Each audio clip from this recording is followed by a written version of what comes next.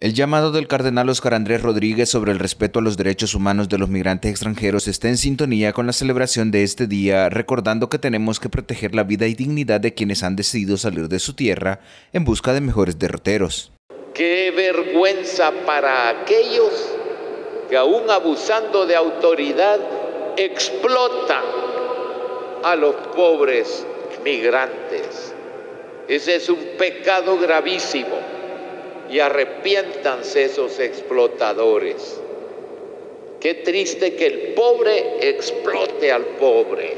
Eso no puede darse aquí en nuestra Honduras.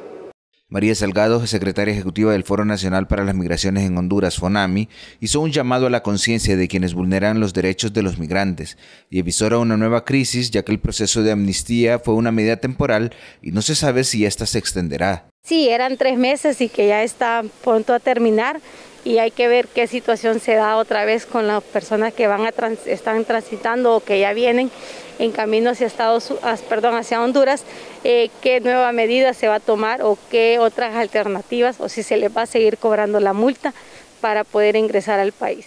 César Ramos, integrante de la Acción Social Menonita, que atiende a los migrantes en la zona norte del país, pide a las autoridades y a la sociedad en general que se respeten los derechos de estos hermanos. Tienen todos los derechos humanos que corresponde a cualquier ciudadano y ciudadana. El hecho de estar en una situación de migración irregular no significa que ellos pierdan sus derechos. Siempre son portadores de derechos y en ese sentido pues un llamado a las autoridades de Honduras en las últimas horas se anunció la muerte de un migrante venezolano en el punto fronterizo entre Honduras y Guatemala. La triste realidad que son testigos quienes van en camino hacia Estados Unidos en esta ruta migratoria.